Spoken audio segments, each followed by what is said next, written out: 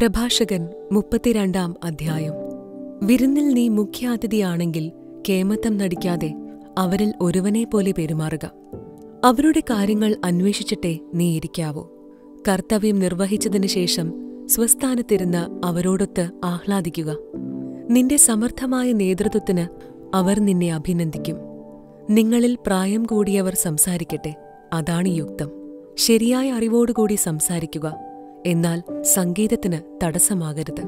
വിനോദ പരിപാടികൾക്കിടയിൽ സംസാരിച്ചുകൊണ്ടിരിക്കരുത്. അവസരത്തിൽ സാമർഥ്യം പ്രകടിപ്പിക്കരുത്. വീഞ്ഞു സൽക്കാരത്തിലെ സംഗീതം സ്വർണത്തിൽ പതിച്ച മാണിക്യം പോലെയാണ്.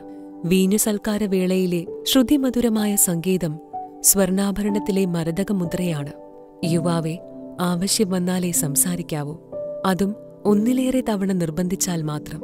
ഒതുക്കി പറയുക. കുറഞ്ഞ വാക്കുകളിൽ വളരെ കാര്യങ്ങൾ ഉൾക്കൊള്ളിക്കുക. അറിവുള്ളവനും എന്നാൽ മിതഭാഷയും ആയിരിക്കുക. മഹാന്മാരോട് ഇടപെടുമ്പോൾ തുല്യത ഭാവിക്കരുത്. മറ്റുള്ളവർ സംസാരിക്കുമ്പോൾ പുലമ്പിക്കൊണ്ടിരിക്കുകയും അരുത് ഇടിക്ക് മുമ്പേ മിന്നൽ കാണുന്നത് പോലെ വിനയശീലന്റെ മുമ്പിൽ കീർത്തി പരക്കുന്നു. തക്ക സമയത്ത് പോവുക അവസാനത്തവൻ ആകരുത്. വേഗം വീട്ടിൽ പോവുക തങ്ങി നിൽക്കരുത്. അവിടെ ചെന്ന് ഇഷ്ടാനുസരണം സന്തോഷിക്കുക. എന്നാൽ അഹങ്കാരപൂർവം സംസാരിച്ച് പാപം ചെയ്യരുത്. തന്റെ ദാനങ്ങൾ കൊണ്ട് നിന്നെ സംതൃപ്തനാക്കിയ നിന്റെ സൃഷ്ടാവിനെ ഇക്കാര്യത്തിനു വേണ്ടി സ്തുതിക്കുക. ദൈവഭക്തി. കർത്താവിനെ ഭയപ്പെടുന്നവൻ അവിടുത്തെ ശാസനം സ്വീകരിക്കുന്നു. പ്രഭാതത്തിൽ ഉണർന്ന് അവിടുത്തെ അന്വേഷിക്കുന്നവന് കൃപ ലഭിക്കും. നിയമത്തെ അന്വേഷിക്കുന്നവൻ അതിൽ സംതൃപ്തി കണ്ടെത്തും. എന്നാൽ കപടനാട്യക്കാരൻ അതിൽ തട്ടിവീഴും. ദൈവഭക്തൻ ശരിയായി വിധിക്കും. നീതിപൂർവകമായ പ്രവൃത്തികളെ അവൻ ദീപം പോലെ പ്രകാശിപ്പിക്കും. ദുഷ്ടൻ ശാസന നിരസിക്കുകയും തന്നിഷ്ടം പോലെ തീരുമാനമെടുക്കുകയും ചെയ്യും. ബുദ്ധിമാൻ ഒരു നിർദ്ദേശവും അവഗണിക്കുകയില്ല. നിന്ദ്യനും ധിക്കാരിയുമായ മനുഷ്യൻ ആരെയും ഭയപ്പെടുന്നില്ല. ആലോചന കൂടാതെ ഒന്നും പ്രവർത്തിക്കരുത്. പശ്ചാത്തപിക്കാൻ ഇടയാവുകയില്ല. പ്രതിബന്ധങ്ങൾ നിറഞ്ഞ വഴിയിലൂടെ സഞ്ചരിച്ച് തട്ടി വീഴരുത്. നിരപ്പായ വഴിയിലും അമിതമായ ആത്മവിശ്വാസമരുത്. വഴിയിൽ ശ്രദ്ധയോടെ നടക്കുക. ഓരോ പ്രവൃത്തിയിലും കരുതൽ വേണം. അതാണ് നിയമാനുഷ്ഠാനം. നിയമത്തിൽ വിശ്വസിക്കുന്നവൻ കൽപ്പനകൾ അനുസരിക്കുന്നു. കർത്താവിൽ ശരണപ്പെടുന്നവന് നഷ്ടം വരികയില്ല. പ്രഭാഷകൻ മുപ്പത്തിമൂന്നാം അധ്യായം. കർത്താവിനെ ഭയപ്പെടുന്നവന് അനർത്ഥം സംഭവിക്കുകയില്ല. ആപത്തിൽ നിന്ന് അവിടുന്ന് അവനെ രക്ഷിക്കും. ജ്ഞാനി നിയമത്തെ വെറുക്കുകയില്ല. അതിനോട് ആത്മാർത്ഥതയില്ലാത്തവൻ കൊടുങ്കാറ്റിൽപ്പെട്ട തോണി പോലെയാണ്. വിവേകി നിയമത്തിൽ ആശ്രയിക്കും. ഉറിയും കൊണ്ടുള്ള നിശ്ചയം പോലെ നിയമം അവന് വിശ്വാസ്യമാണ്. മുൻകൂട്ടി തയ്യാറായേ സംസാരിക്കാവൂ. അപ്പോൾ നീ ശ്രദ്ധിക്കപ്പെടും. ചിന്തിച്ചുറച്ച് ഉത്തരം പറയുക. വിഡ്ഢിയുടെ ഹൃദയം വണ്ടിച്ചക്രം പോലെയാണ്. അവന്റെ ചിന്തകൾ തിരിയുന്ന അച്ചുതണ്ടു പോലെയും. പരിഹസിക്കുന്ന സ്നേഹിതൻ വിത്തുകുതിരയെ പോലെയാണ്. ആര് പുറത്തിരുന്നാലും അത് ഹേഷാരവം മുഴക്കുന്നു. അസമത്വങ്ങൾ. വർഷത്തിലെ എല്ലാ ദിവസങ്ങളെയും പ്രകാശിപ്പിക്കുന്നത് സൂര്യനാണെങ്കിൽ ഒരു ദിവസം മറ്റൊന്നിനേക്കാൾ മെച്ചപ്പെട്ടതാകുന്നതെങ്ങനെ? കർത്താവിന്റെ നിശ്ചയമനുസരിച്ചാണ് അവ വ്യത്യസ്തമാകുന്നത്. ഋതുക്കളും ഉത്സവങ്ങളും നിർണയിച്ചതും അവിടുന്നാണ്. ചില നാളുകളെ അവിടുന്ന് ഉന്നതവും സമ്പൂജ്യവും മറ്റു ചിലതിനെ സാധാരണവുമാക്കി. മനുഷ്യരെല്ലാവരും മണ്ണിൽ നിന്നാണ്. ആദം പൊടിയിൽ നിന്ന് സൃഷ്ടിക്കപ്പെട്ടു.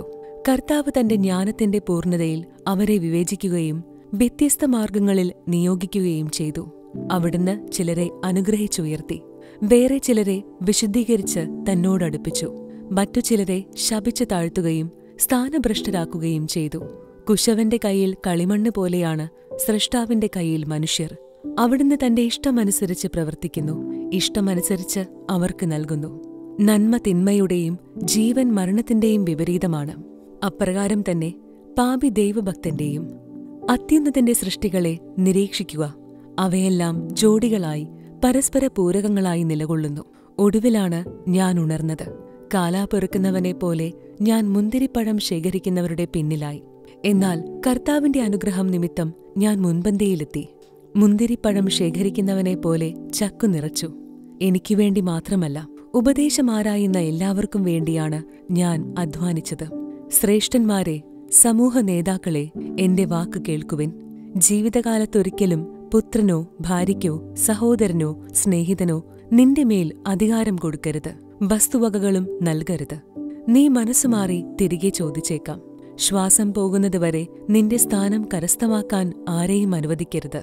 മക്കളെ ആശ്രയിക്കുന്നതിനേക്കാൾ നല്ലത് അവർ നിന്നെ ആശ്രയിക്കുന്നതാണ്. ചെയ്യുന്നതിനെല്ലാം ശ്രേഷ്ഠത കൈവരിക്കുക. കീർത്തിക്ക് കളങ്കം വരുത്തരുത്. ജീവിതാന്ത്യത്തിൽ മരണനാഴികയിൽ സ്വത്ത് വിഭജിച്ചു കൊടുക്കുക. കഴുതയ്ക്ക് തീറ്റിയും വടിയും ചുമടും. ദാസന് ആഹാരവും ശിക്ഷയും ജോലിയും. അടിമയെക്കൊണ്ട് വേല ചെയ്യിച്ചാൽ നിനക്ക് വിശ്രമിക്കാം. അലസനായി വിട്ടാൽ അവൻ സ്വതന്ത്രനാകാൻ നോക്കും. നുകവും ചാട്ടയും കാളയെ തല കുനിപ്പിക്കും. പീഡനയന്ത്രവും പ്രഹരങ്ങളും അനുസരണമില്ലാത്ത അനുസരണമില്ലാത്ത അടിമയെയും. അലസനാകാതിരിക്കാൻ അവനെക്കൊണ്ട് വേല ചെയ്യിക്കുക. അലസത തിന്മകൾ വളർത്തുന്നു. അവനെക്കൊണ്ട് പണിയെടുപ്പിക്കുക. അതാണ് അവന് യോജിച്ചത്. അനുസരിക്കുന്നില്ലെങ്കിൽ അവന്റെ ചങ്ങലകളുടെ ഭാരം കൂട്ടുക. ആരോടും അളവ് വിട്ട് പെരുമാറരുത്. അനീതി കാണിക്കുകയും അരുത്. നിനക്ക് ഒരു ദാസനുണ്ടെങ്കിൽ അവനെ നിന്നെപ്പോലെ കരുതണം.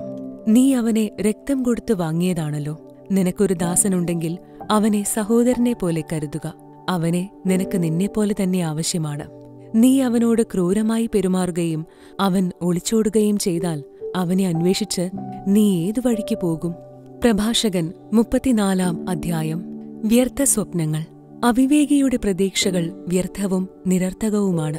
സ്വപ്നങ്ങൾ ഭോഷന്മാർക്ക് ചിറക് നൽകുന്നു. സ്വപ്നങ്ങളെ ആശ്രയിക്കുന്നവൻ നിഴലിനെ പിടിക്കുന്നവനെ പോലെയും കാറ്റിനെ അനുധാവനം ചെയ്യുന്നവനെ പോലെയുമാണ്. സ്വപ്നത്തിലെ ദർശനം യഥാർത്ഥ മുഖത്തിന്റെ പ്രതിച്ഛായ മാത്രമാണ്. അശുദ്ധിയിൽ നിന്ന് ശുദ്ധിയുണ്ടാകുമോ അസത്യത്തിൽ നിന്ന് സത്യവും ഗർഭിണിയുടെ ഭാവന പോലെ ശകുനം നിമിത്തം സ്വപ്നം ഇവയെല്ലാം മിഥ്യയാണ്. അത്യുന്നതനിൽ നിന്നുള്ള ദർശനമല്ലെങ്കിൽ അതിനെ അവഗണിക്കുക. സ്വപ്നങ്ങൾ അനേകരെ വഞ്ചിച്ചിട്ടുണ്ട്. അവയിൽ ആശ്രയിച്ചവർ പരാജയപ്പെട്ടിട്ടുണ്ട്. അത്തരം വഞ്ചനകൾ കൂടാതെ നിയമം നിറവേറ്റാം. സത്യസന്ധമായ ചുണ്ടുകളിൽ വിജ്ഞാനത്തിന് പൂർണത ലഭിക്കുന്നു. വിദ്യാസമ്പന്നൻ വളരെ കാര്യങ്ങൾ അറിയുന്നു. അനുഭവസമ്പന്നൻ വിവേകത്തോടെ സംസാരിക്കുന്നു. അനുഭവജ്ഞാനമില്ലാത്തവന് അറിവ് കുറയും. യാത്ര ചെയ്തിട്ടുള്ളവൻ കഴിവുറ്റവനാകുന്നു. യാത്രയിൽ ഞാൻ വളരെ കാര്യങ്ങൾ കണ്ടിട്ടുണ്ട്. പ്രകടിപ്പിക്കാൻ കഴിയുന്നതിനേക്കാൾ കൂടുതൽ ഞാൻ ഗ്രഹിക്കുന്നു. ഞാൻ പലപ്പോഴും മാരകമായ അപകടങ്ങളിൽ പെട്ടിട്ടുണ്ട്. എന്നാൽ അനുഭവജ്ഞാനം എന്നെ രക്ഷിച്ചു. ദൈവഭക്തന്റെ ജീവൻ നിലനിൽക്കും. അവന്റെ പ്രത്യാശ അവന്റെ രക്ഷകനിലാണ്. ദൈവഭയം. കർത്താവിനെ ഭയപ്പെടുന്നവൻ അധീരനാവുകയോ ഭീരുത്വം പ്രകടിപ്പിക്കുകയോ ഇല്ല. അവിടുന്നാണ് അവന്റെ പ്രത്യാശ. ദൈവഭക്തന്റെ ആത്മാവ് അനുഗ്രഹീതമാണ്. തന്റെ ആശ്രയം അവൻ അറിയുന്നു. തന്നെ സ്നേഹിക്കുന്നവരെ കർത്താവ് കടാക്ഷിക്കുന്നു. അവിടുന്ന് ശക്തമായ സംരക്ഷണവും ഉറപ്പുള്ള താങ്ങും ചുടുകാറ്റിൽ അഭയകേന്ദ്രവും പൊരിവെയിലിൽ തണലും ഇടരാതിരിക്കാൻ സംരക്ഷണവും വീഴാതിരിക്കാൻ ഉറപ്പുമാണ്. അവിടുന്ന് ആത്മാവിനെ ഉത്തേജിപ്പിച്ച് കണ്ണുകളെ പ്രകാശിപ്പിക്കുന്നു. അവിടുന്ന് സൗഖ്യവും ജീവനും അനുഗ്രഹവും പ്രദാനം ചെയ്യുന്നു. അന്യായ സമ്പത്തിൽ നിന്നുള്ള ബലി പങ്കിലമാണ്. നിയമനിഷേധകന്റെ കാഴ്ചകൾ സ്വീകാര്യമല്ല. ദൈവഭക്തിയില്ലാത്തവന്റെ ബലികളിൽ അത്യന്തതൻ പ്രസാദിക്കുന്നില്ല. അവൻ എത്ര ബലിയർപ്പിച്ചാലും അവിടുന്ന് പ്രസാദിക്കുകയോ പാപമോചനം നൽകുകയോ ഇല്ല. ദരിദ്രന്റെ സമ്പത്ത് തട്ടിയെടുത്ത് ബലിയർപ്പിക്കുന്നവൻ പിതാവിന്റെ മുമ്പിൽ വച്ച് പുത്രനെ കൊല്ലുന്നവനെ പോലെയാണ്. യഥാർത്ഥ ഭക്തി. ദരിദ്രന്റെ ജീവൻ അവന്റെ ആഹാരമാണ്. അതപഹരിക്കുന്നവൻ കൊലപാതകിയാണ്. അയൽക്കാരന്റെ ഉപജീവനമാർഗം തടയുന്നവൻ അവനെ കൊല്ലുകയാണ്.